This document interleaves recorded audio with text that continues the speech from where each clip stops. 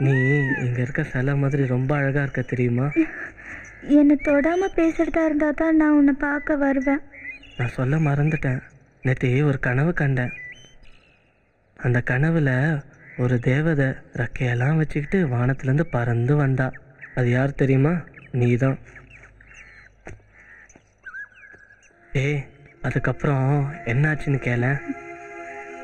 சொல்லு. நீ குளத்துல தண்ணியா குளிச்சிட்டு இருக்கியா? அதை நான் கரையில் உட்காந்து மெதுவாக ரசிச்சிட்டு இருக்கேன் நீ குளிச்சு முடிச்சு துணி மாத்த வரியா? நான் மெதுவாக அவன் கையை பிடிக்கிறேன் நான். ஏய் ராணி ராணி நில்லு. உனக்கு ரொம்ப தான் ஆசை. சரி புள்ள தூங்கிருச்சு. நான் புறப்படுறேன் சார். அதுக்குள்ள என்ன அவசரம்? கேபிள் டிவியில் ஏதோ புது படம் போட்டிருக்கானாம. இருந்து பார்த்துட்டு போக வேண்டியதானே ஆமா டிவி பார்க்குற நிலைமையிலயா நான் இருக்கேன். பொழுது விடிஞ்சு பொழுது போனா வேலை செய்யறதுக்கே சரியா போதும் தங்கம் நீ மட்டும் பத்தாவது பாஸ் பண்ணியிருந்த ஏதாவது ஒரு வேலை வாங்கியிருக்கலாம். சரி இவளையாவது ஒழுங்கா படிக்க வை.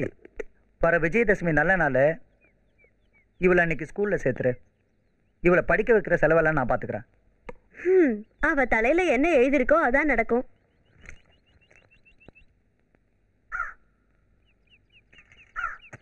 ஏய்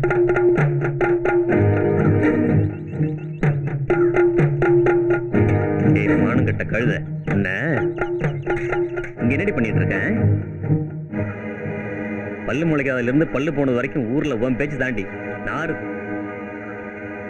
பள்ளிக்கூடம் போற வயசுலயே வயித்துல புள்ளைய சுமக்க தயாரானதானே நீ. இன்னும் அடங்கல?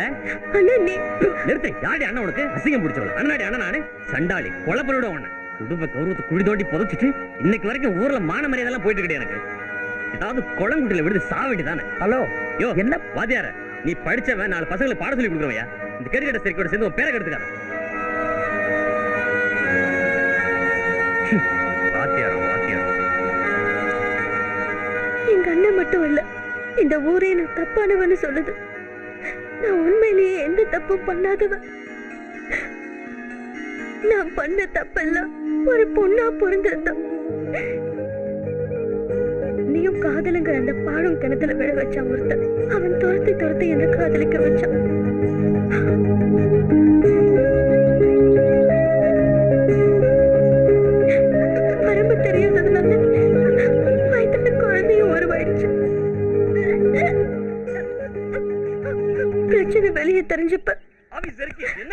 அமைய இருந்த ஒரு வாழ்க்கையும் அழிச்சு என்ன பாழாக்கி பழ தேத்துட்டான் அந்த பாவி.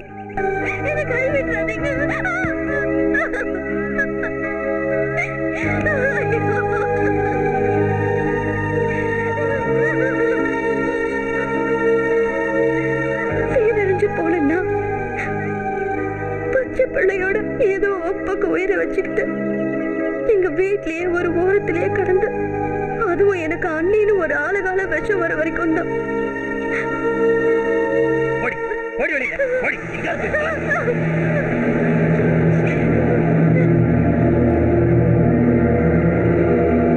அப்புறம் ஒரு நாள் நான் பார்த்த ஒரு விஷயம்.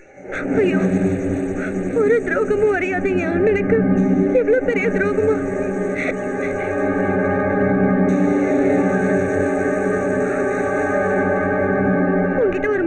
விஷயம் சொல்லணும்னு சொல்றதுக்கு கூட எனக்கு தைரியம் இல்ல.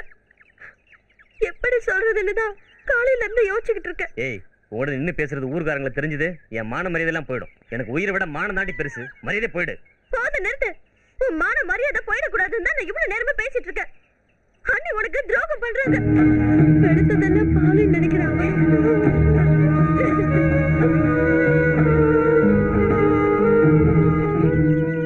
ஆயிரம் அயோக்கியத்தனம் பண்ணாலும் அதை இந்த உலகம் ஏற்றுக்கும் பொம்பளை அறியாமல் ஏதோ ஒன்று செஞ்சிட்டா கூட அவளை காலம் பூரா தூத்திக்கிட்டே இருக்கும். நீ எந்த தப்பும் பண்ணல தங்கம். நான் என்னைக்கும் செத்து போயிருப்பேன் சார். என் பிள்ளைக்காக தான் இந்த பாழா போன உலகத்துல வாழ்ந்துகிட்டு இருக்கேன். பழசெல்லாம் மறந்துரு தங்கம். நீ சரின்னு சொல்லு. நான் உன்னை கல்யாணம் பண்ணிக்கிறேன்.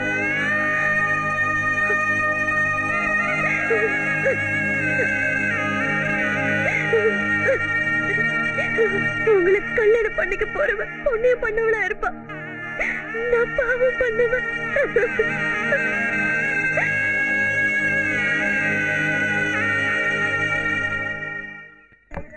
இந்த சரோஜா. என்னையா இது? ஐ புது செருப்பு. என் நேரத்துக்கு ஏற்ற மாதிரியே வாங்கியிருக்கையா? என் செல்லம். என்னையா? என்னாச்சு? சோகமாக இருக்க? குட்டி உன் அழகுக்கு அரண்மனையில் ராணி மாதிரி வாழ வேண்டிய பொண்ணு நீ. என்னை கட்டிட்டு வந்து இந்த குடிசையில் கஷ்டப்படுற. குடிசையில இருந்தா என்னையா இப்போ? என்ன நீ ராணி மாதிரி தானே பார்த்துக்கிட்டு இருக்க? சும்மா சும்மா அதையே பேசிக்கிட்டு. யோ இனிமே நீ வேலைக்கு வெளியே போனா பொழுதோட வீட்டுக்கு வா. புரியுதா? சரி உள்ள வா. வாயா? விடு குட்டி. அட வாங்க விடு. அட, வாயா, ரொம்ப. ஆசையா இருக்கு போல இன்னைக்கு. என்னையா நீ? வாயா. நல்லா இருக்கா ம் நான் இவ்வளோ ருசியாக சாப்பிட்டதில்ல தெரியுமா? உனக்காக நானே சமைச்சேன். கையெல்லாம் கூட சுட்டுக்கிட்டேன் தெரியுமா? எங்க? கல்யாணத்து பிறகு நீ சமைக்க தேவையில்ல நம்ம சமைக்கார வச்சுக்கலாம். ஆ, உனக்கு எப்போ நான் தான் சமைச்சு போடுவேன்.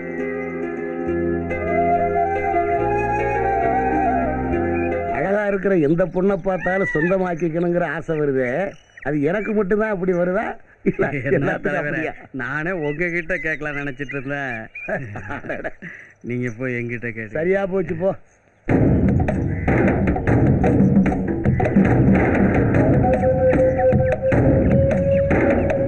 தலைவரே தங்கத்தை பார்த்துக்கிட்டே தான் இருக்கீங்க. எப்போ தான் உரச போறீங்களோ தெரியல. அதுக்குள்ள அந்த வாத்தியம் உரைச்சிருவான் போல இருக்க. என்ன சொன்ன? எப்போ உரச போறேனா மொத்தமா உருக்க போறேன் பாரு தங்கத்தை.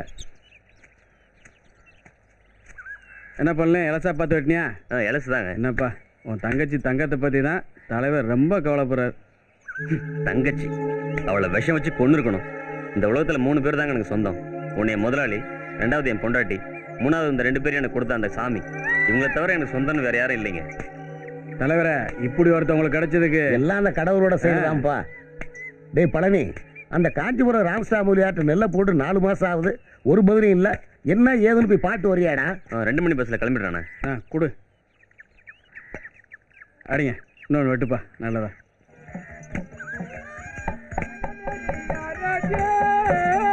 அற்புத வழக்கு வந்து அற்புத வழக்கு வந்து.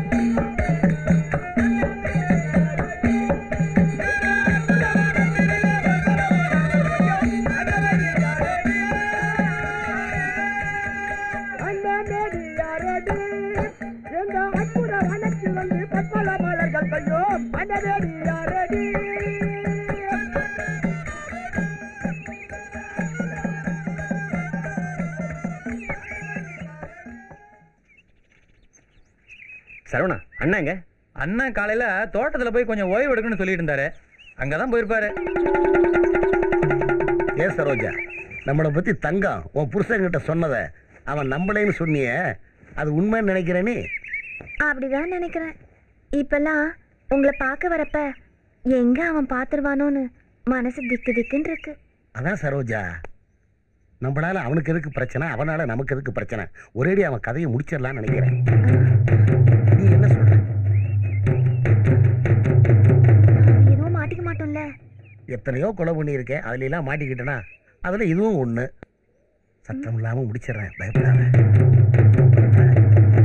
போகும்போது சுத்து முத்தும் பார்த்துட்டு ஜாக்கிரதையா போ. அண்ணே. அடப்பாவி. என்னடா முக்கியமான விஷயம்.